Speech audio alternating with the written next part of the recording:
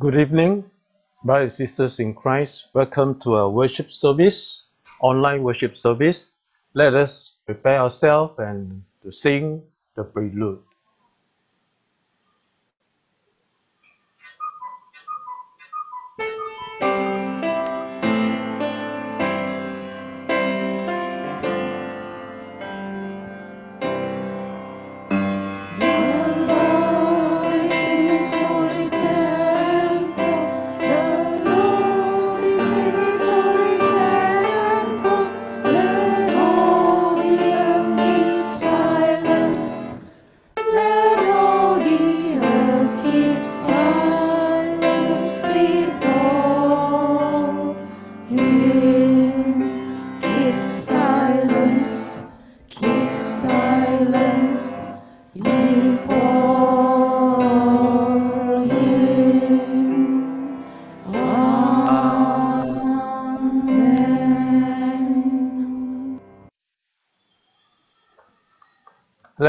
To you from Psalms 66, verses 1 to 9.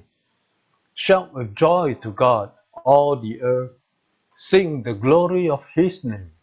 Make his praise glorious. Say to God, How awesome are your deeds! So great is your power that your enemies cringe before you. All the earth bow down to you. They sing praise to you. They sing praise to your name. Come and see what God has done, how awesome his works in all men's behalf. He turned the sea into dry land. They passed through the waters on foot. Come, let us rejoice in him. He rules forever by his power. His eyes watch the nations. Let not the rebellious rise up against him. Praise our God, all peoples. Let the sound of his praise be heard. He has reserved our lives and kept our feet from slipping. Let us sing our opening hymn, Blessed Assurance.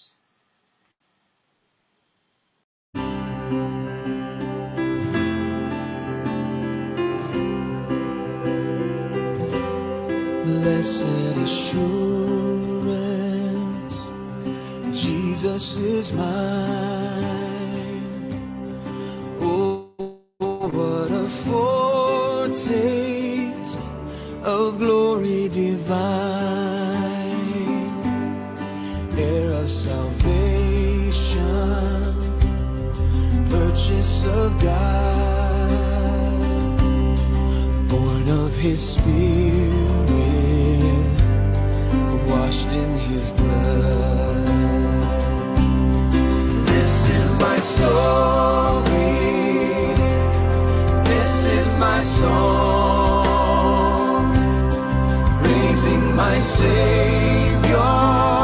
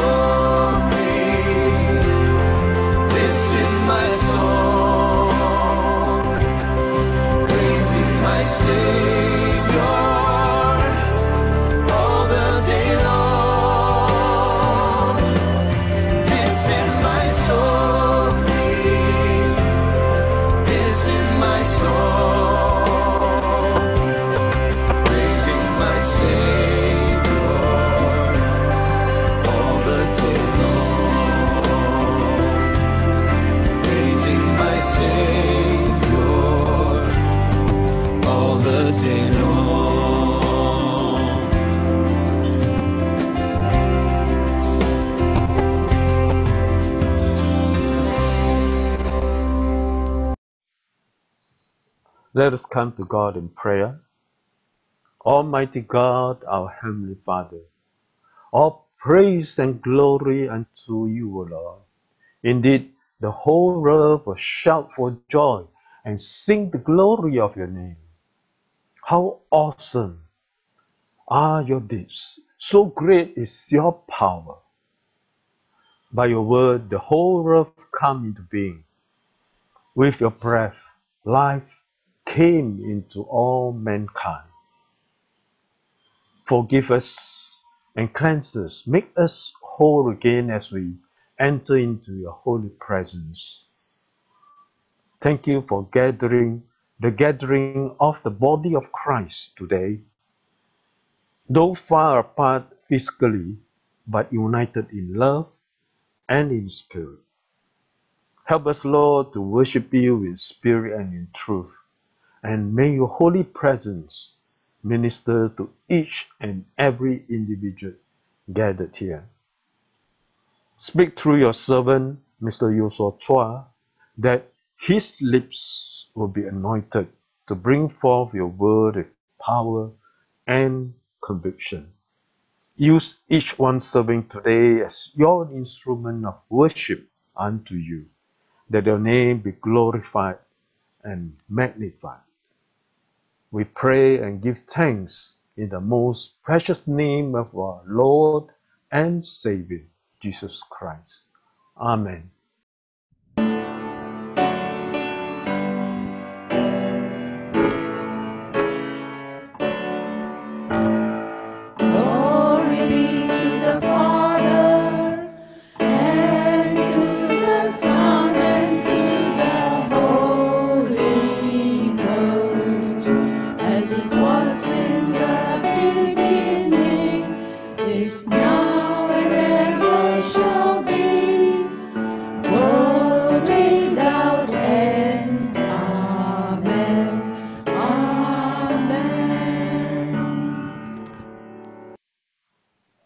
Let us together affirm our faith by reciting the Apostles' Creed. I believe in God, the Father Almighty, maker of heaven and earth, and Jesus Christ, his only Son, our Lord, who was conceived by the Holy Spirit, born of the Virgin Mary, suffered under Pontius Pilate, was crucified, died, and was buried. He descended into hell. The third day he rose again from the dead. He ascended into heaven and is seated at the right hand of God the Father Almighty. From there he shall come to judge the living and the dead. I believe in the Holy Spirit, the Holy Catholic Church, the communion of saints, the forgiveness of sins, the resurrection of the body, and the life everlasting. Amen. Let us now come together and worship our God and give our Lord and our God all the praise and glory that He deserves. Shout for joy and sing your praises to the King. Lift your voice and let joyfully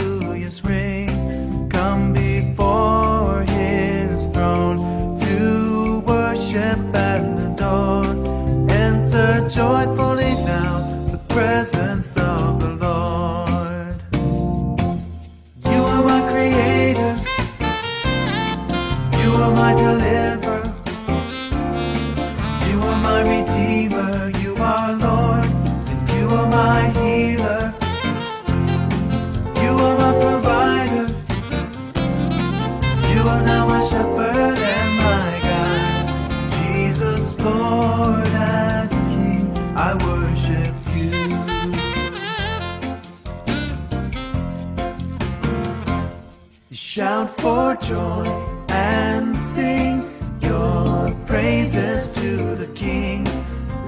Your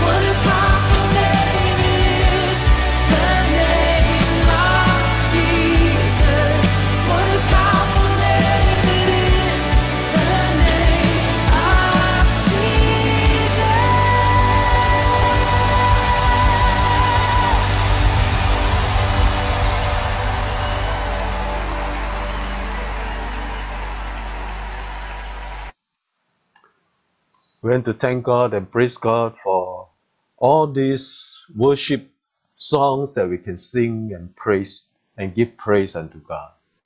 Now, uh, Ryan Sia will read to us the scripture passage.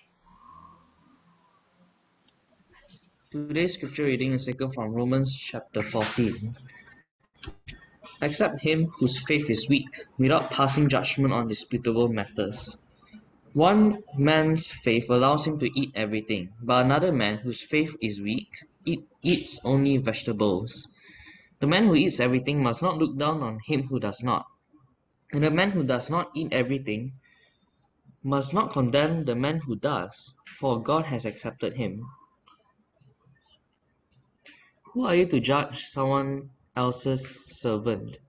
To his own master he stands or falls, and he will stand for the Lord is able to make him stand.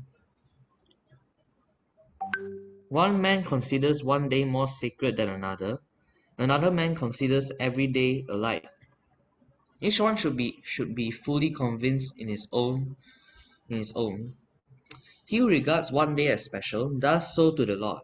He who eats meat eats to the Lord, for he gives thanks to God, and he who, ab- ab- who, he who abstains does so to the Lord and gives thanks to God. None, for none of us lives to himself alone, and none of us dies to himself alone. If we live, we live to the Lord, and if we die, we die to the Lord. So, whether we live or die, we belong to the Lord.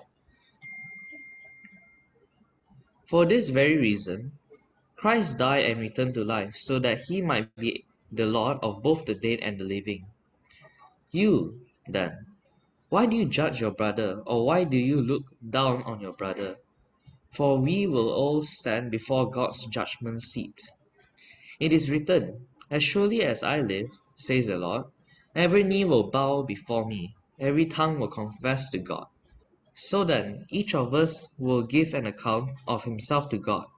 Therefore, let us stop passing judgment on one another. Instead, make up your mind not to put anything, put any stumbling block or obstacle in your brother's way. As one who is in the Lord Jesus, I am fully convinced that no food is unclean in it in itself. But if anyone regards something as unclean, then for him it is unclean. If your brother is distressed because of what you eat, you are no longer acting in love. Do not, by your eating, destroy your brother for whom Christ died. Do not allow what you consider good to be spoken of as evil.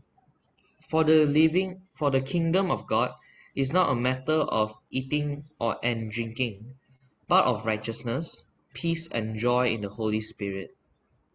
Because anyone who serves Christ in this way is pleasing to God and approved by men. Let us therefore make every effort to do what leads to peace and to mutual edification. Do not destroy the work of God for the sake of food. All food is clean, but it is wrong for, wrong for a man to eat anything that causes someone else to stumble. It is better not to eat meat or drink wine or to do anything else that will cause your brother to fall. So whether you believe about these things, keep between yourself and God. Blessed is the man who does not condemn himself by what he approves. But the man who has doubts is condemned if he eats, because his eating is not from faith, and everything that does not come from faith is sin. Amen. Thank you, Ryan, for reading that uh, long passage. Okay, today uh, we are joy. it is our great joy to have again Mr. Joshua Chua to speak to us. Mr. Joshua studied theology at uh, Seminary uh, Theology Malaysia, that is STM, in Seremban, and graduated in the year 2010. Now he is working in SRSP, the Sekolah Rendah Seri Presbyterian, as a vice principal. And uh, Mr. Joshua has been a regular speaker, and he is now part of GGBP. So, uh, without further ado, I will pass this this time to Mr. Joshua to speak to us from the word, the sermon title, Living and Walking in Love. Mr. Joshua? Um, thank you, Edwin, and uh, thank you, Ryan, for that reading. And good afternoon, brothers and sisters in Christ. Uh, greetings from Taman Banda, uh, Batu Pahat. So today we are going to be looking at uh, a very controversial topic, or possibly controversial topic. So um, I would urge all of us to stay calm and uh, not uh, freak out. Okay, we are going slowly. We will go slowly here. I know the reading doesn't show anything, right? But we are going to look at uh, a few things here. Okay, so let us pray before we begin. Heavenly Father, we want to give you thanks for this wonderful afternoon where we can gather together and we pray, oh God, that as we uh, take time to pause, to meditate, and to think through your word, Lord, we pray that our hearts, our minds, our souls will be edified by your truth and that our lives will be changed and our community and our church will be changed and will be edified by your spirit and that your spirit will use our church to edify the town of Batu Pahat and also the surrounding families and peoples around. So we pray for your spirit to come this afternoon and use your word to heal us. You use your word to teach us. Use your word to build us up in truth and in love. In Christ Jesus our Lord, whom we love, in his name we pray. Amen. Okay, let's jump in. Okay, uh, some people have said, I'm going to share my screen so you don't have to see my face so much. Um, okay, let's see. Okay, I believe you can see this, everyone. Yeah. All right. Okay, I'm to tell you. Okay, so we are we're just doing a little overview of uh, what we have looked at. Um, uh, you know, in in the last few weeks, right? We have been doing a study uh, for Romans 12, 13, and now 14. Of course, there's a bit of a there was a bit of a shift in terms of the schedule, but that's fine. Uh, so the overview basically of the book of Romans, uh, the book of Romans, if you don't know this already, I think a lot of people know this, but the book of Romans is is one of the the most um, how do I put this? The, the book of Romans is one of the greatest pieces of religious literature that was ever written, right? It is a piece of philosophical excellence that is that is that that that no Greek, even the Greek philosophers cannot match, right? For, his time, beautiful language, uh, very very well articulated and argued, uh, and laying out the case for Christianity and the good news in such an orderly and uh, beautiful way, which you know people who study scholars who look at it, they they they, they marvel at the the beauty of the language and the argumentation of the Greek as well as the, the Jewish ways of arguing uh, shown both in the book itself. Okay, so that's just overview of the book of Romans. Now, the book of Romans, of course, as you know, written to uh, church in Rome, right? A church whom Christ, uh, whom Paul has not visited yet before. One thing to go, but prevented to. And he's writing to the church in Rome, uh, expressing, you know, what he knows and believes to be the gospel, the good news. And so it is a magisterial, a beautiful book of art, right? A, a, a wonderful work that has been kept and preserved for us to study until now, right? And um, it lays out the breadth and scope of the good news for the Jew first and then the Gentile. And chapters 1 to 11 are the extended presentation of the good news. So it, it presents the arguments for why faith rather than works, or why um, the law is important, but yet at the same time, faith is, is the central part of what, what Jesus did on the cross, right? And then chapters 12 to 15, which is the section that we're looking at, is actually divided into about two sections. The, the book of Romans divided into two sections. First section is that presentation of the gospel, and the second section is 12 to 15, which is a series on practical applications on how we can live out the good news, live out the gospel in our day-to-day life. So 12 says, chapter 12 says, therefore, I urge you, my brothers, in view of God's mercies, to offer your bodies a living sacrifices, right? Holy and pleasing for this your rightful act of worship, right? So this is the uh, the, the beginning of that whole 12, 13, 14, 15, right? Then uh, we, we, we've heard chapter 13 talk about, you know, we uh, listen to authorities, those in power. And then today we are looking at chapter 14, right? 15 uh, closes that whole section on application, and then the, the second part of 15, there's that whole section on Paul explaining what he wants to do, some personal instructions and so on. And finally, chapter 16 is his final greetings to the church in Rome, which is really amazing if you think about it because he has never been there, but he knows so many people there. And he says, Greet so and so, greet so and so, greet so and so, greet so and so, right? He knows so many of the people in Rome. It is really incredible. Anyway, so that's the overview, okay? Now we have the chapter 12 to 15, and and we're looking at it a little bit more closer here. We look chapter 12. The uh, chapter 12 is essentially some applications on how you behave, right? Uh, we should not look at one another, uh, look at it, look at ourselves more highly than we should. Uh, we should be humble and we should not conform to the pattern of the world. It's more individual based. Then chapter 13 is regarding uh, behavior with the governments, right, and society, people dealing with people. Then chapter 14, which is what we're looking at today, is our behavior in the church, okay, and in the community of God. So let's look at that. Now, before we go into the text, which has been read out for us by Ryan Sia just now, I'm going to tell us a story. Okay, now this is a fictional story. Uh, it has not, not happened, and I'm not trying to address anybody in the church at all because it is it has not even happened before. So it is a hypothetical scenario, right? So I'm going to in this in our talk today, we're going to, I'm going to give you two scenarios, right? One scenario now, and uh, I'm going to explain the text. And then at the end of the sermon, I'm going to give the answer, the solution to this scenario, which ends with a problem, by the way, the scenario. Then at the end of that resolution, I'm going to give you another scenario for you to think about. And then after that, I will surely, uh, I will answer that and give you a resolution for that. And then we'll close. Okay. So let's go. Now, story time.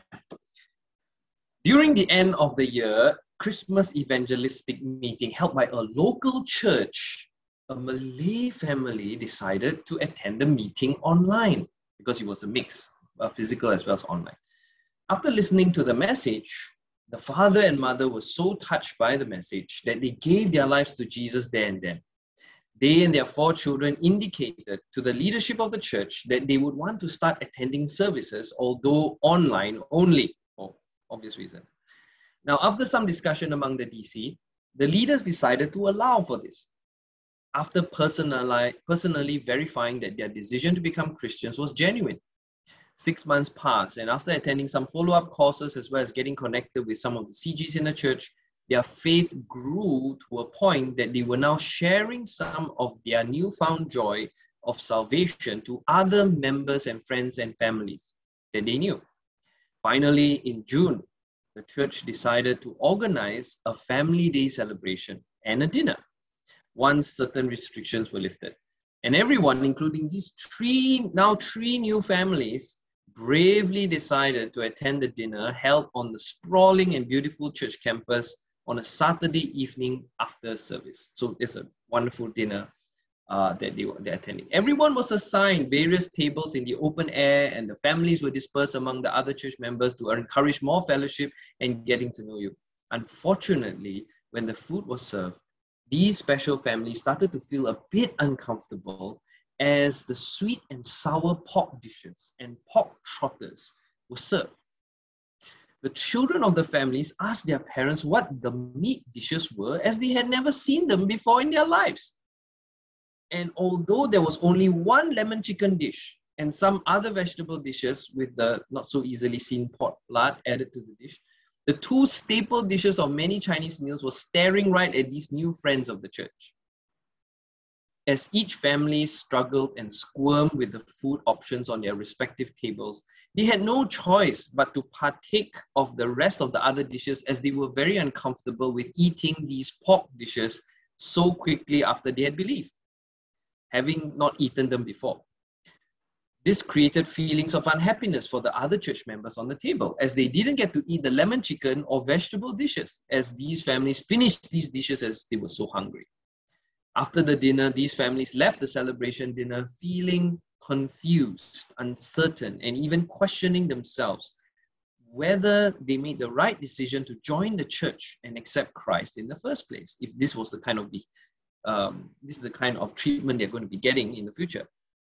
They even had to endure much persecution and ostracization from members of their own community to only be humiliated and left hungry by the seeming insensitivity of the organizers who also selected the menu items. To make matters worse, the other members of the church who sat at their tables also left the dinner feeling sour and unhappy, even though they, they ate the sweet and sour pork. Right? They felt sour and unhappy that they couldn't try the wonderful vegetables and chicken dishes and decided to complain to the church leadership, stating that since these new families had already accepted Christ, they were no longer bound to their old ways and religion, and therefore they should be taught to eat pork. As this matter caused some disquiet among members, it was eventually brought up during a family dialogue. And although some members suggested that all meals should not have any elements of pork in them, other members disagreed fiercely, claiming that these new friends of ours need to learn how to overcome their erroneous beliefs of the past and boldly embrace the new realities of their faith in Jesus Christ, where nothing that has been made clean by Christ should be called unclean. Wow, got Bible verse somewhere.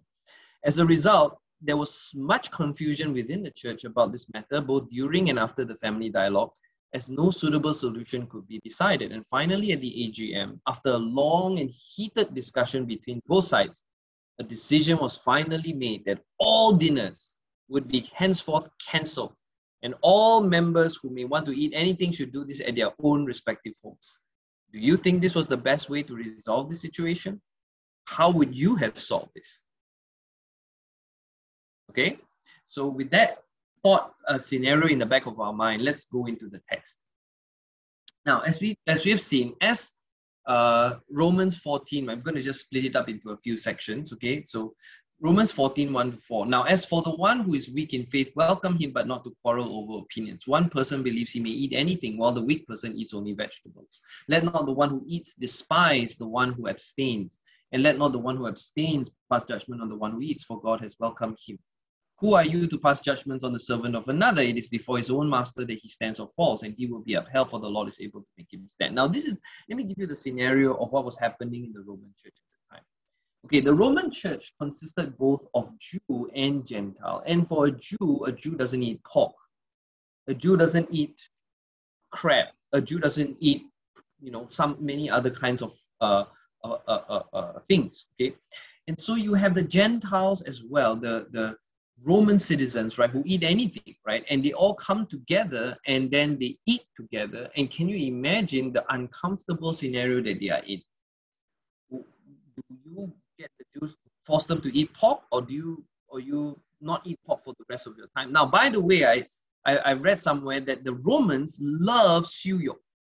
Okay, they love suyok, pork belly, all right, and they and the way they prepare it, right, it's very similar to how we Chinese prepare the suyok, right? So it's lush, juicy, fat, right, and Romans love it. Okay, so um, they call it pancetta, right? Anyway, so the point is that the, these Romans, the Roman Christians, right, they, they want to serve their, their, their, their wonderful dish, right? And all these Jewish Christians who are brothers in the same church cannot eat the pork. Okay, so now they are faced with a problem. So who gives? Who relents? Is it the, the, the Jewish Christians who then say, look, you know, um, we're Jews, we don't eat pork, right? You know, so please don't serve pork. Then the Gentiles are like, no, no, no. Uh, we love pork and you know there's no more jew and gentile in christ anymore we are brothers and you know you, you're no longer jews in the sense of your old ways of judaism and so on so now you should be able to eat pork with us so you know you have that one problem. Then the other problem you have another problem right? Which is the jews right? They are not allowed by rabbinical law to eat with the gentile. So what you may get in the in the roman church and some other churches as well right? Where there was a was a significant jewish community um, you will have maybe groups of Jews eating among themselves, and then you have Gentiles eating among themselves in the church itself, right? So that creates a sense of cliquishness, right? You know, you've got this Jewish clique, and then you've got this Gentile clique, and that doesn't help in any way to kind of bring the, the church, this small community of believers together, because everyone's kind of like, no, I'm my gang, and you're your gang, you know, and and and they cannot come together because of the food that they eat or the laws that they follow. So Paul is trying to resolve this issue by teaching them a very basic principle about Jesus's love. Okay, so let's look at this. Let not the one who eats despise the one who abstains. Okay, and let not the one who abstains pass judgment on the one who eats, for God has welcomed him. So he's talking about Jew and Gentile, right? One weak person eats only vegetables, but one can eat anything, which is the Gentile. So he's trying to say the Gentile can eat anything and the Jew only eats vegetables. For example, because he cannot eat pork, right? So he has to eat vegetables. Okay, so so Paul is saying, don't judge one another, right? Don't don't the one the Gentile say, hey, come on, Jew, like try a bit of this yoke lah, right? Or the Jew don't judge the other person and say, hi, yeah, this fella's all not caring lah, you know, you don't care about us lah, you this and that and all. And you have that kind of sense of judgment that comes into the whole thing. So here Paul is laying out the case and saying we need to be able to receive one another and uh, regardless of our cultural backgrounds and to understand one another deeper, right? Okay, next section. One person esteems one day as better than another, while another esteems all days alike. Each one should be fully convinced in his own mind. The one who observes the day observes it in honor of the Lord. The one who eats, eats in honor of the Lord, since he gives thanks to God, while the one who abstains, abstains in honor of the Lord and gives thanks to God. So Paul is saying, look, if you eat pork, it's not wrong. If you don't eat pork, it's also not wrong. Okay. Now, some of the Jews, they they valued certain days as really, really holy, right? So for the Jews, they have three main festivals in a year. They have the Passover, they have the Rosh Hashanah, which is the Yom Kippur, and they have the, the festival of Sukkot. These three main festivals every year. Of course, the most holy day of all is the Yom Kippur, which Yom Kippur means the day of atonement. And that day is the most special day for the whole Jewish people to this day, by the way. Right? So what happens is on that day, everyone will be fasting. Everyone will not eat on that special day. Now, can you imagine for a Gentile Christian at the time in Rome and in other places as well, of course. But imagine you're a Gentile believer, right? So you're not a Jew, and you've got these Jews who are fasting and they take that day so seriously and they come to worship, and then all the other Gentiles are ah hee hee ha ha, hey, what's up, man? Hey, hello, da, da, da, da. and these Jews are all kind of like, you know, these people are showing such great disrespect, you know, to me, to my cultural identity, who I am, and uh, you know, they get upset. Okay, the Jews get upset. Now, it's these these Jews are not doing anything wrong. They they are just following you know the cultural kind of uh, belief in the Day of Atonement. Now, and and and also the Bible, which is built on the Jewish faith, although it's built on the Jewish faith, but it's not bound by it anymore because of the New Testament.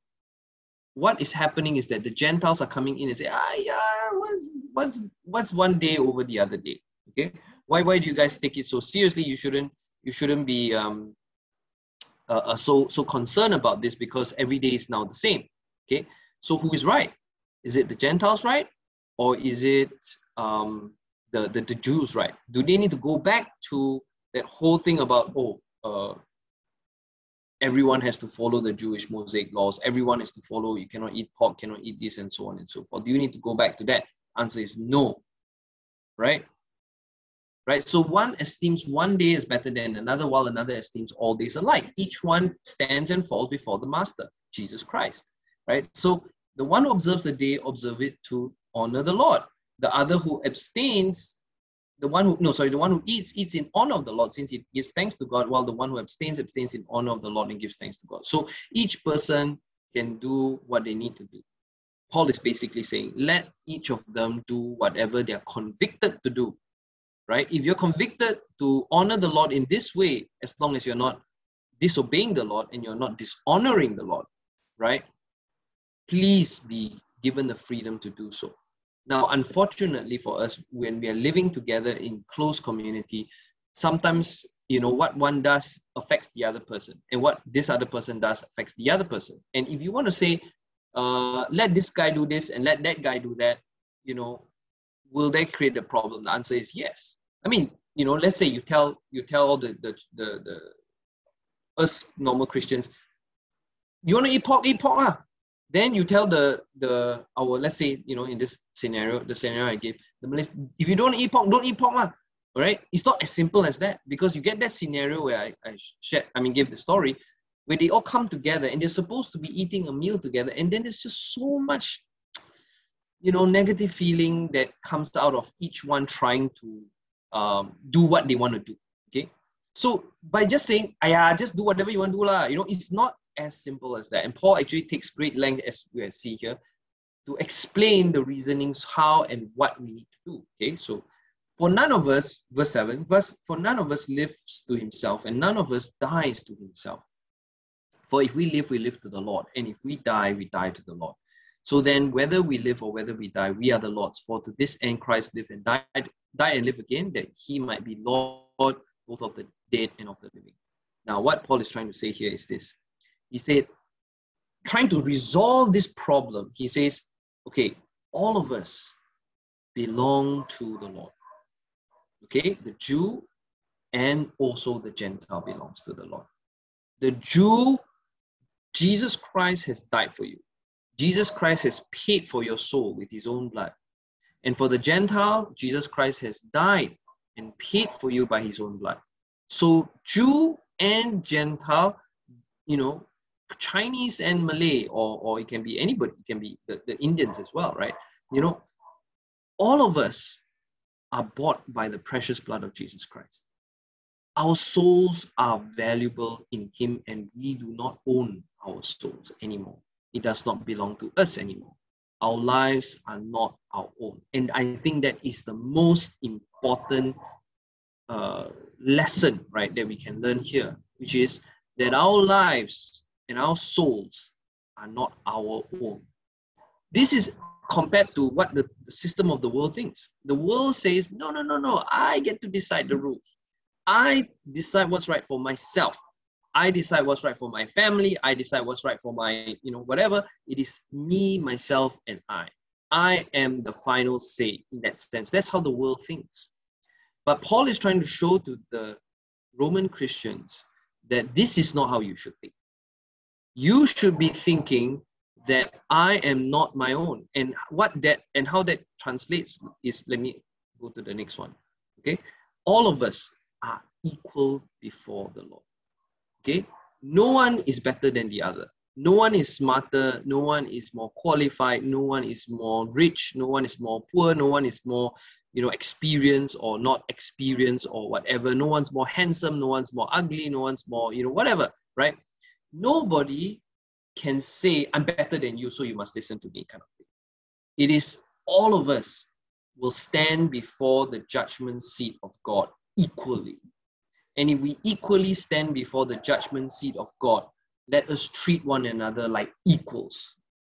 Okay? And when we treat one another like equals, we can't say, hey, you know, like, hey, you know who we are, no, no, hey, hey, we all Christian, uh, we all live so long already, we have been eating more pork, uh, you know, da, da, da. so you guys uh, learn to catch up a little bit, lah. hello, you know, we, we can go into that whole mode of thinking. Or the other group that says they just accepted Christ. And they said, hey, come on, you know, like, will you not be compassionate on us a little bit? You know, we all accepted Christ and we're from this background, all that kind of stuff.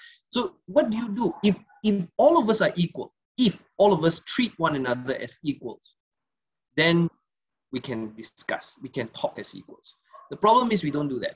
In church, we don't do that. We we we categorize, right? We discriminate one over the oh, this one is this one, this one is oh, that one from a from from a more influential family, or this one from you know he's he works as this kind of job, so he's more he has more influence, or like what James talks about, right, in the book of James, when a rich person comes into the church, a datuk comes into the church, a tan sri comes into the church, right? You know, let's say Robert Tan Sri Robert Kuok comes into the church, everybody all sit up.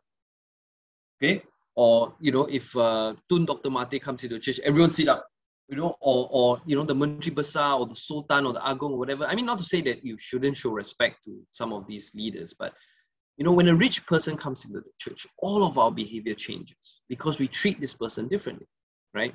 And the, the, rich person also like, expects to be treated differently as well, right? So, but Paul is trying to say, don't treat one another differently. Regard one another as equal because all of us will stand before the judgment seat of Christ. Whether you're rich, whether you're poor, whether you're educated, whether you're not educated, whether you're experienced or not experienced, all of us will be treated the same by Christ. So, why then do you despise? Why then do we look down on one another? Why then we do we treat one another in this way? Right? For we will all stand before the judgment seat of God. So we should not put ourselves over another person, whether because of our achievements, status, qualifications, or lack of them.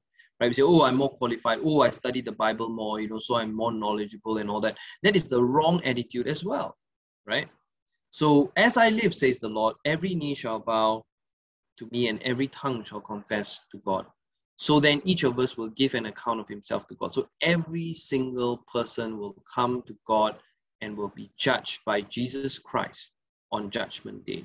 So we should all therefore treat one another equally, right? As equal human beings. This is a very, very revolutionary idea. It's a very incredible idea because the system of the world is not like that at all. The system of the world is always hierarchy, is always class based. Meaning, you look at the, one of the oldest civilizations in the world, the Indian civilization, right? Uh, Indus Valley, Harappan uh, civilization, right? Very, very advanced civilization has its own plumbing and stuff like that. But the Indian civilization, they have classes, they have a caste system. So you've got the, the rich priests on top, the Brahmins, right? Then you come down, come down all the way down to the lowest class. You go to China, same thing. You've got the emperor, and then you've got the court of the emperor, and then you've got all these mandarins, right? All the the one, right? All the people who who, who managed to, to take the exam. Now, the, the good thing about this is that in China, you have that meritocracy system where you can take the Tongkao, this big exam, and, and if you do well, you can get into become a, a government official, right? But that's about it right? Within that, you still have a hierarchy. You've got a different levels within the Mandarin system itself. You've got one, two, three, four, five, six, seven, eight, nine, right? It, you have a very strict hierarchy. And also the, the, the, the Mandarins on level one, you know, they, they will do certain things that other Mandarins cannot do and so on and so forth. Right? You go to Europe, you go to the serfs, right, in the feudal times, right? Also, you have got the kings, you've got the aristocrats, you've got the knights, then you've got the, the, the normal common folk, and then you've got, so you've got always these kind of classifications. Even today, we even in Malaysia, we also have that. Like I said just now, you've got, you know, you've got the doctors, the reverends, the most reverend, right reverend. You then you go up, you've got Datoks, you've got the Datuk Sri, and then you've got the Tan Sri, and then you've got the Yang Berhormat, Tan Sri, Dato, you know, all that. You've got all these different titles to give us all these classifications. So in our society, even in Malaysia, we have a, in a sense, a different class. Okay, so when you earn a certain amount of money, you get into this particular class. So the church, unfortunately, sometimes, maybe inadvertently, kind of inherits a little bit of this. Okay, so then, you know, certain people in the church are regarded as more holy, or certain church people within the church are regarded as more whatever, right? I'm not trying to say that, you know, people who serve the Lord, like, like some of the leaders in the church, are bad. They're not, right? Or I'm not trying to say that the pastor is is not should not be treated with respect. I think the pastor should be treated with respect. But but the, the thing is, we should not treat you know some of these higher class people, so-called higher class people, in a way that just completely you know we we we we allow them to bully us in that sense or we bully them maybe i don't know. But the idea is that we shouldn't even be bullying one another. We should be respecting and treating one another as equals okay? Anonymously almost as it were. When we when we are anonymous with with some people and people like you know a certain level of anonymity there there, there are functions for that right? When when you want to be treated equally then you then you become anonymous right? Then people can treat you like a human being in a sense. So in that sense paul is trying to say treat one another as equals right? And i think that's the, the thing here verse 12 okay let's carry on. Now verse 13 therefore let us not pass judgment on one another any longer but rather decide never to put a stumbling block or hindrance in the way of a brother not only should we not judge one another, but we should also not cause another brother or sister to stumble. It means don't go and purposely go and catch out the person, lah, right? Don't go and provoke the person, lah, so to make the person even angry. Like say you are in a, let's say in the church, you are in a position of authority in some ways, okay, or you are regarded, respected in the church for whatever reasons. And then because of your position you think okay you know this this this this guy can't do he must listen to me. You know i'm the so and so i'm the dc uh, i'm the you know deacon uh, you must listen to me. I'm in charge of this and that and also and so forth. I'm not saying that you know our people do this but i'm saying that you know if we do this that is like putting a stumbling block over for another brother and sister okay? Now i know and am persuaded in the lord jesus that nothing is unclean in itself but it is unclean for anyone who thinks it unclean for if your brother is grieved by what you eat, you are no longer walking in love. By what you eat, do not destroy the one for whom Christ died. So we look at that whole example just now, the scenario. Right? So you have this argument, and you know, both sides are fighting it out and saying, No, lah, they should, you know, learn to submit to us, lah. You know, come on, we are Christians. Are we gonna not eat pork for the rest of the time next time? Huh? Next time we have Christmas celebration, huh? They, they, they cannot eat pork, man. You cannot eat roast pork, man. How? Right? How about how about vegetables we cook with pork lard? You know, do we have to like what? You know, what do we do? So big argument. Everyone's kind of very heated in their argument, and and because you cannot resolve this, we say let's not even eat. Okay, which is not the solution either. Okay, that's that's probably a kind of neutral kind of position, like oh let's not fight. Okay, let's not eat. Okay, but the answer is that this is not how we should also move forward. Okay, because eating together is a very, very powerful, wonderful tool that we have to bring the church together.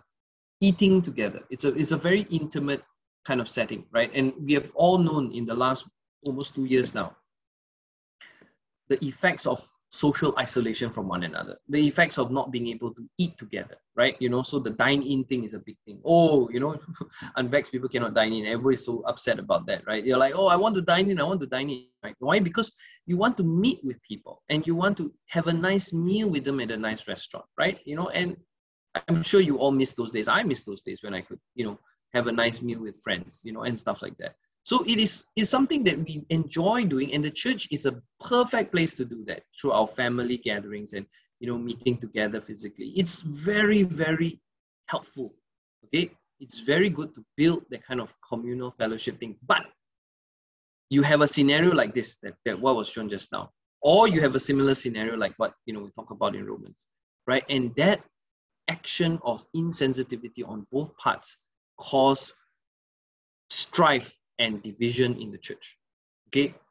On I mean it the, the the eating together is nothing wrong with eating together. And it's nothing wrong eating pork and not eating pork. Paul is basically saying. But when we judge one another, that is what causes the strife and division in the church, right? Among many things. But this one is a simple thing. It's just makan ma. I mean, what's the big deal about eating? But wow, make until big, big thing, you know, wow, fighting lah, this lah, that lah, all these things. So I mean, thankfully, I don't think we have had this problem, but you know, this is what Paul is trying to get at. It is not about eating, it's about the judging that takes place because of the eating. Okay, so by what you eat, do not destroy the one for whom Christ died. Now he says, verse 16, so do not let what you regard as good be spoken of as evil, for the kingdom of God is not a matter of eating and drinking, but of righteousness and peace and joy in the Holy Spirit. So this is what Paul's saying. It's like it's not the food, it's not about eating. It's about the attitude that we have towards one another in the body of Christ. So whoever thus serves Christ is acceptable to God and approved man. So then let us pursue what makes for peace and for mutual upbuilding. So what Paul is saying is the central principle here is we need to pursue for peace and mutual upbuilding. And once that is not happening, something is wrong. Once one member, if just one member of the church feels that what they're doing, if they're doing what is right, of course, right, then the church needs to take stock. Now, let me just contrast this by saying, then you say, but then what if the person is doing wrong? Eh? Okay, yeah. Let, what if the person is doing wrong? Now, if the person is doing wrong, then obviously the church should not stop for this person. Okay. Now, if the person is stealing, the person is committing adultery, the, the person is, I don't know, doing bad stuff, right? And and and the church knows it, and other people know it. Okay. Then that's a different case. It doesn't mean that oh we all should not do anything. Oh let's let the let this person do that. You know whatever evil that they are doing, and let let the person carry on doing. Let's not do anything because you know we don't want to you know uh, uh, upset that whole love and all these things. No no no. That's not what Paul is saying here. Paul is saying that if both sides are just trying to do something harmless like eating and you can get into a kind of judging kind of mentality, then don't do that. Make room for one another, yield to one another. But if one person is doing something wrong, clearly wrong, cheating, lying, stealing, whatever, right, that person needs to be disciplined by the church, right? And there are ways to do that, right? Christ has already illustrated when when somebody has wronged you or somebody has done something wrong, there are certain steps on how to do it. First, you go to that person personally and, and try and reason things out with that person, person to person. If that cannot happen, then you need to bring another person. And then if that you know still cannot happen, then you need to bring you know more people, and then finally bring this matter up to the church, and the church has to resolve this as a body, and there needs to be a good resolution.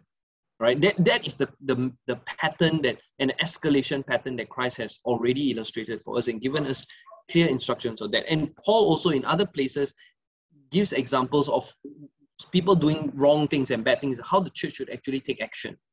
But here, nobody is doing wrong except for the judging part.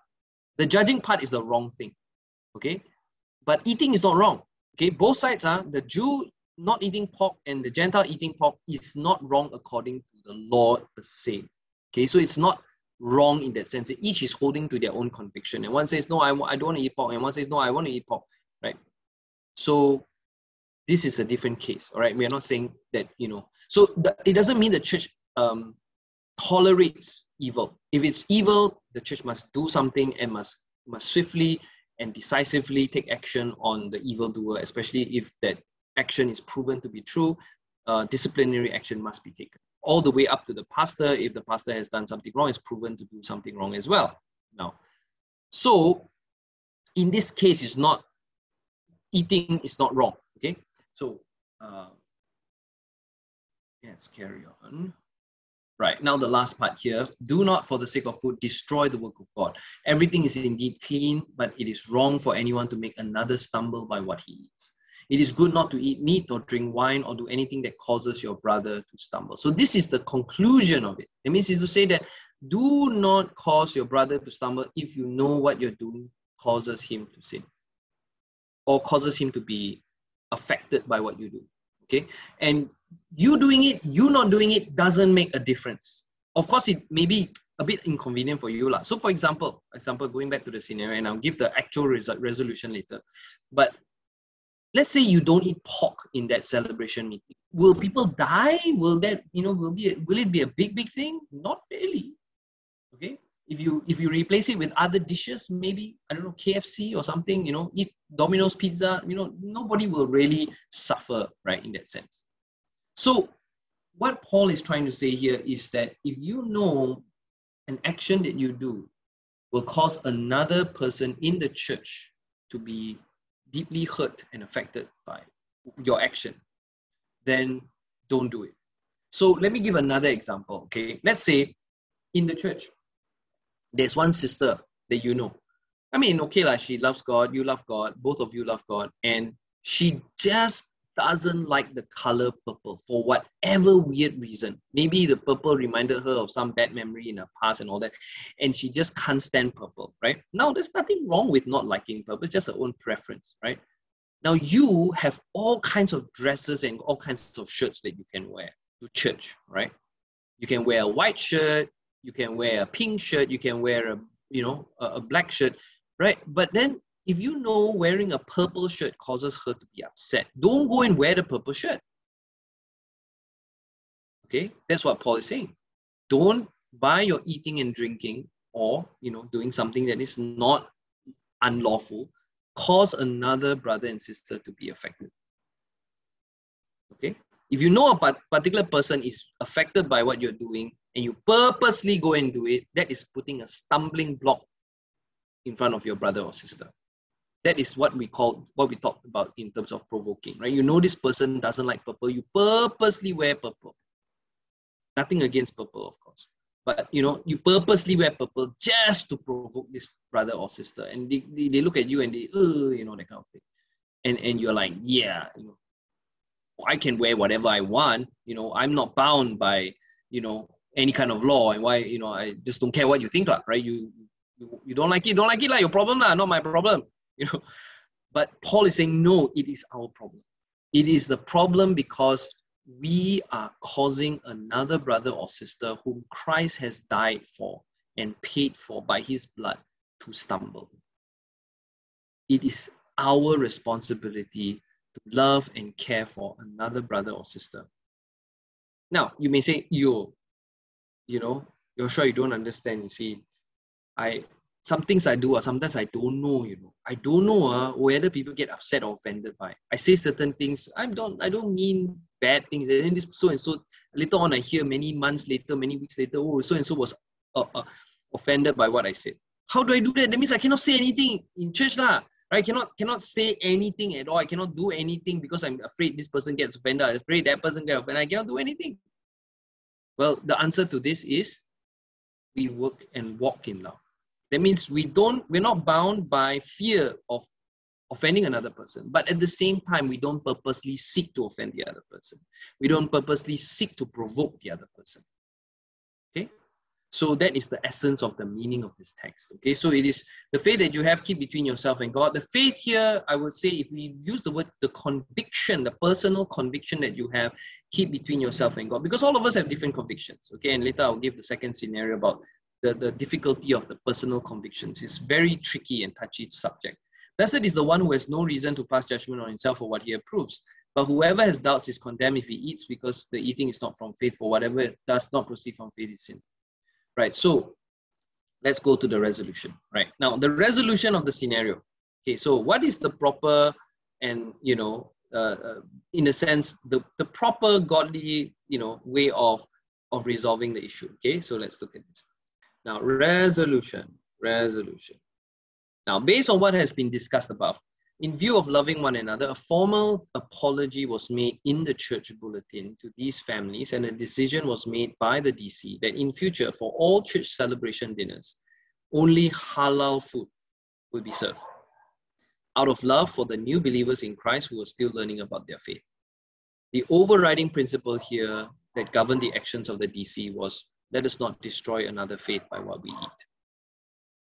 Okay, so that's the resolution. Now I'm going to give you another scenario. Okay, now this scenario is the touchy one. Okay, now it's the most hot topic. Okay. Okay, now scenario two. Are you ready? Don't kanchong, ah. Now, in a particular local church, there was a small minority of unvaxxed or anti-vax members in the congregation, around 10%. Since the church wanted to ensure compliance with government SOPs, the unvaxxed was not allowed to attend all physical services but could only attend via Zoom or live streaming. Over time, however, there began to emerge a sense of an unvaxxed anti-vax distinctions among some of members of the church who felt that this unvaxxed group was bringing inconvenience to the church, if not threatening the safety of the members of the church. The unvaxxed group, on the other hand, also began to feel more and more sidelined and forgotten. When the time for the church annual AGM came along, the majority of the church members voted to have a physical in-person AGM.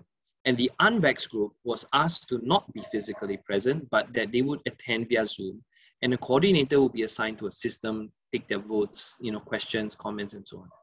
The person chosen to coordinate, one of the leaders in maybe the DC, just happened to have a particular personal bias against the unvaxxed. And during the course of the AGM, either consciously or unconsciously missed out some votes and comments and questions from this unvaxxed group thinking that since they were only a minority, wouldn't matter. The unvaxxed group could also tell that the coordinator was not interested in really taking their views into consideration as they tried to get their attention, but there were multiple occasions when the coordinator did not respond. Eventually, when some other members of the church heard that some within the unvaxxed were dismayed about not having their contributions acknowledged, the DC called up the coordinator for an explanation.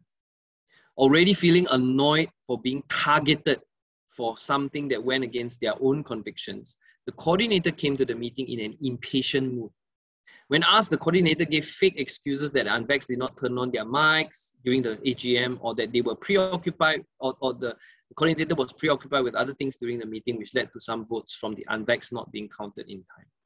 Finally, the coordinator could not stand it any longer and freely expressed what they felt. It was just that they felt that it was just a waste of time entertaining this group that was so stubborn, cowardly, and selfish, and that they had no love for their neighbor. They did not show love for their neighbor and were endangering everyone else.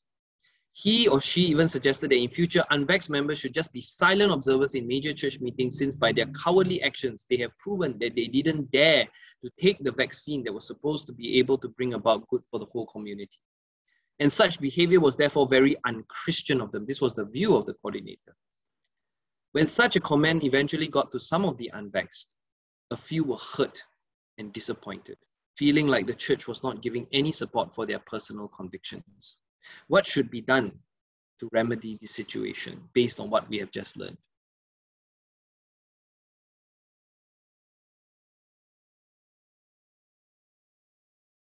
Okay, now you don't have to, you know, raise your hand and stuff, right? I'll just give you the answer straight away. Okay. In my opinion, the way to resolve a scenario, a hypothetical, of course, this scenario has not happened, but you know, if a, something like this would happen, right? My suggestion is that you first have to request that the coordinator apologize to the unvaxxed and to arrange for more sympathetic, vaxxed leaders within the DC to coordinate with the unvaxxed group in future major meetings. And the overriding principle here is let the strong help those who are weak. Let the strong help those who are weak. Who are the weak ones? The minority. And who are the minority? The unvaxxed group. Now, it doesn't have to be the unvaxxed group. It can be other groups in our churches. It may be the, you know, uh, uh, um, people from a particular background or people with certain educational uh, limitations and stuff like that, right? You know, they may be these minorities. And if they want to honestly, sincerely serve the Lord, not do bad things, but honestly serve the Lord, then, you know, the church must do what it can to accommodate for their personal convictions. Okay. And finally, I would just end by, by just reminding us about the beautiful story of Jesus and Zacchaeus.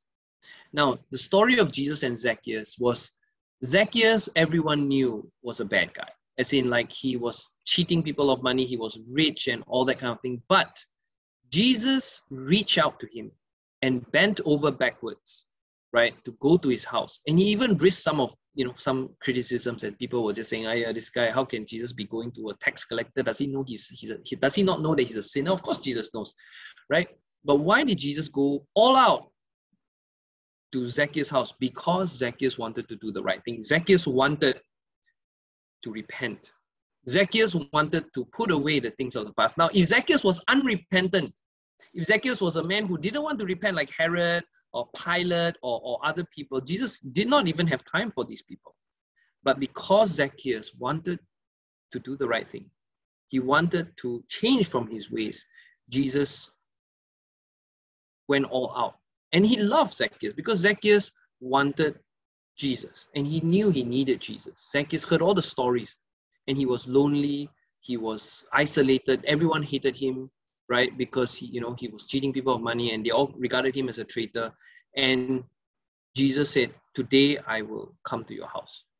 Right? And Zacchaeus was just so blown away by Jesus' love. He didn't have to do it. Jesus actually didn't have to go to Zacchaeus' house. And Jesus actually, if he went, it seemed to like Jesus was uh, affecting his own reputation. But Jesus loved to do this, not just for Zacchaeus, but for so many people, like the leper. He didn't have to touch the leper, but he touched the leper. Right? Jesus didn't have to entertain the woman, but he entertained the woman. And by right, you know, the woman with 12 years of bleeding, you know, for in Jewish law, you're not supposed to touch a woman, and more so, you're not supposed to touch a woman who is in bleeding. So doubly unclean. But Jesus touched or allowed the woman to touch her. So what I'm saying here is that Jesus loves us and loved us, right? And he went all out to help us. And so we, the church, should go all out to help those among us, right, who are feeling really, really left out or are feeling weak or are being dipinggirkan, you know, they're, they're being sidelined, right? The strong must help the weak. Now, you cannot say the, the strong cannot insist on the other hand say so strong cannot say the weak must help me okay let's say there's a few group there's a small group of very very strong people who have a lot of influence of the church and then they say oh based on your thing ah, then the weak must serve me lah because you say you know I, we are a small group must you must help us right? That's not how we understand the scripture as well. It's those who are really at risk. Okay, those who are really weak, like the scenario I gave earlier about those families, they are they are really weak because their own community has rejected them, and now they come to church and we reject them. Let's say like if they do, they are really in a very vulnerable position, right? And then let's say this unvaxxed group also, they are also in a very vulnerable position because you know they are cut off from the rest of society, and the the the church is the only place or one of the places that they can get support. And then the church says no, lah, yeah, you guys are just a threat to threat to us, lah, right? And you are inconvenience to all of us, right? So please, you know, just. So something to really think about, right? You know, what does it mean to live and walk in love? And the answer is we look to Jesus. Always, always look to Jesus. Use him as an example. Use him as our prime example of showing love. And now I'm not trying to say that the ve- unvaxxed people are, are good. I'm just saying that the attitude to which we all do based on personal conviction should be one out of love and out of defending the weak and helping those who are in a more difficult position in the church.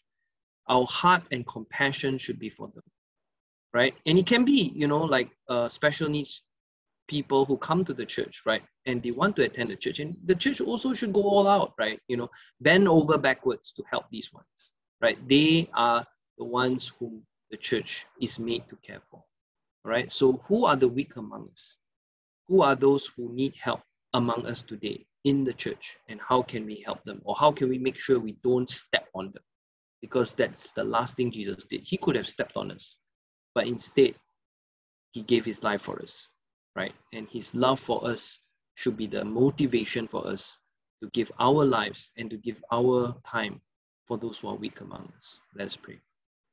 Heavenly Father, we give you thanks for this time and we just pray that as we look at Christ, He's our example, that we will learn how to walk and to live in love. In Jesus' name, in His name we pray. Amen. Thank you, Brother Joshua, for bringing to us God's word. And indeed, that I would like to echo what he said uh, that let the strong help the weak and always walk in love. For this is what we, we Christians are asked to do. So let's uh, come to the announcement. Uh, we the church will, is always uh, welcoming uh, anyone who worships with us, and especially today, those who are worshiping with us for the first time. If there are any one of you worshiping us for the first time, we welcome you, and uh, we hope that you will join us again next week. And uh, this is the announcement that I'll bring to you reopening of church for physical worship service. Okay, the DC has decided that after considering some factors and feedback by members, the reopening of physical worship service originally scheduled on the 6th of this month is postponed to the 20th of uh, that will be next week. The following are the SOPs to be followed for fiscal service. So let me uh, read to you from uh, are quite a number. So I will go as the a bit slower. A. Only fully vaccinated members are allowed to come for the physical service. Members who are sick are not allowed to come, and children below 12 years old are discouraged to join. Our members are to show their digital vaccination certificate to the ushers. B. Religious worship activities in houses of worship are allowed with the limit of attendance subject to the size and space of the house of worship, plus taking into account physical distancing of no less than one meter. And face masks are to be put on at all times and avoid all physical contacts with other members. C. There will be no gathering allowed before or after the service. Members are to disperse immediately after the service has ended. D. Members are to be are to use the main entrance to enter or exit from the sanctuary, although other doors will be open for better ventilation. E. The sanctuary and toilets will have been fully sanitized before and after use. So I hope that uh, those SOPs you will, uh, if you have missed it or you don't really understand, uh, please contact the DC or the church office. Reopening of church office. The church office is now open with staff working on rotation. All visitors to the office must observe strict SOPs. Online banking, all offering tithes and donation must be sent online or brought to the office. Otherwise, you may request collection from home by Deacon Tam Kok Yong. The our church uh, GGBP's name is there, bank account, Maybank account is there. Food Bank. The last dis- distribution was made on uh, 5th of November. So, however, do continue to give the COVID 19 aid fund as we will continue to help the needy here and elsewhere in other ways. And the uh, COVID 19 aid fund total contribution received in cash and online transfer ringgit 20,428. Less total expenditure ringgit 10,149 and 60 cent. Balance asset 1111 is ringgit 10,278.40 cent. GBP Alpha. GBP Alpha will be on every Monday night at 8 p.m. There will be special prayers at 10 a.m. on Mondays. Please join prayers to show support for this church outreach. And also, Boys Brigade. The DC is thinking of starting a Boys Brigade company in the secondary school. If you would like to join a feasibility study, please give your name to Elder B. Lee. Closing date is 15 November. Visitations, need home visits, contact Reverend Benedict with his number to arrange for a time. We'll follow all SOPs. Thank you. Let's come together to pray.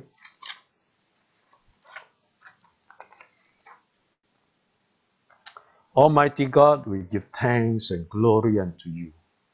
Thank you for your amazing grace and steadfast love for each and everyone gathered before you. Empower us, your church GBP, to proclaim the gospel and the mystery of the cross that is your love to the community here in Batu Pahat. That we, the church, will be the salt and light.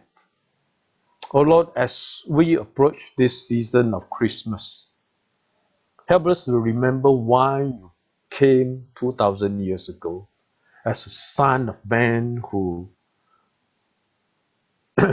who bought our sin and of each and every one of us to redeem and to restore us to be children of God to inherit the promise of eternal life oh Lord as GGBP reopens for physical worship help us to put all the SOP in place and we ask, O God, for your protection and grace be upon us. That the body of Christ that come together to worship will be shielded from the COVID 19 virus. Thou, O Lord, our shepherd, will lead us into green pastures and guide us beside still waters. And even though we walk through the darkest valley, your rod and your staff, they'll comfort us. Anoint us as GGBP embark on these projects, the Boys Brigade and the Alpha program that is already ongoing. We will go forth with your blessing, O God, and your guidance. We pray that lives will be transformed in the work of your kingdom will bear fruit to the praise and glory of your name. We give thanks and pray all this in the mighty name of our Lord and Savior, Jesus Christ. Amen. Let us all together sing the closing hymn, Broken Vessels.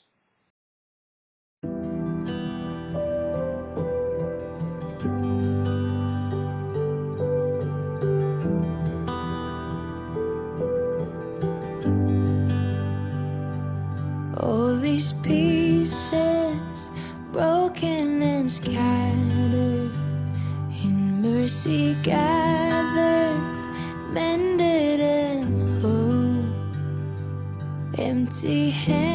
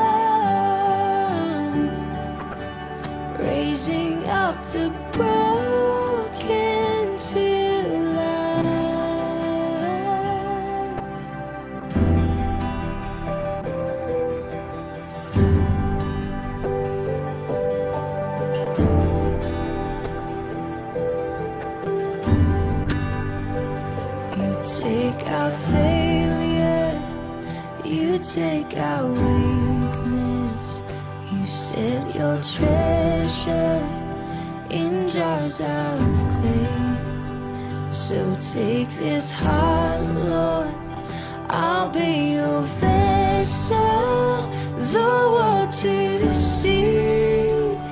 Your life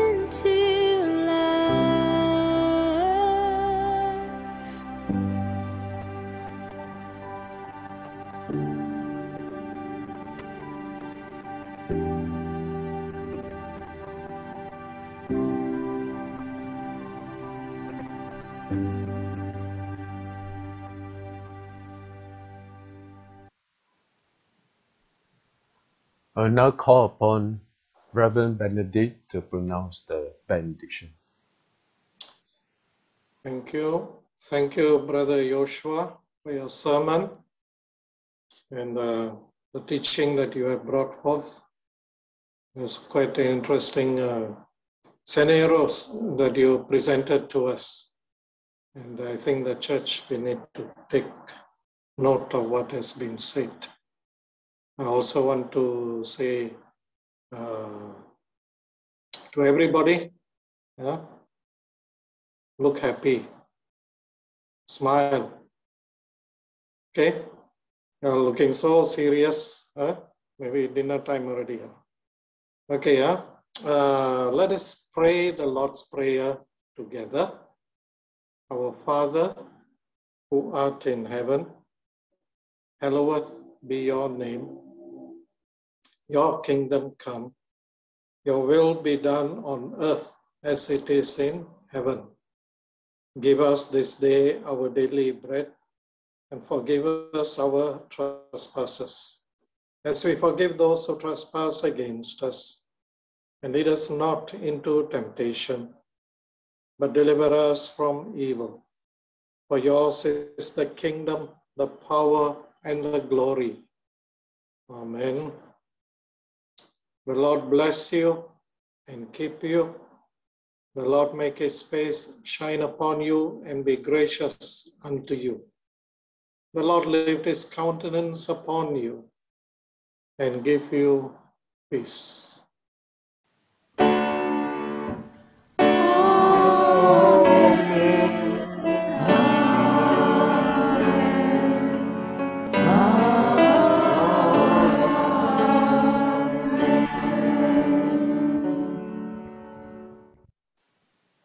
We have come to the end of the service. Thank you for worshiping with us, and uh, God will bless you as we depart from here. See you next week. Bye bye. See all of you. Bye. bye. Thank you, Yoshua. Thank you.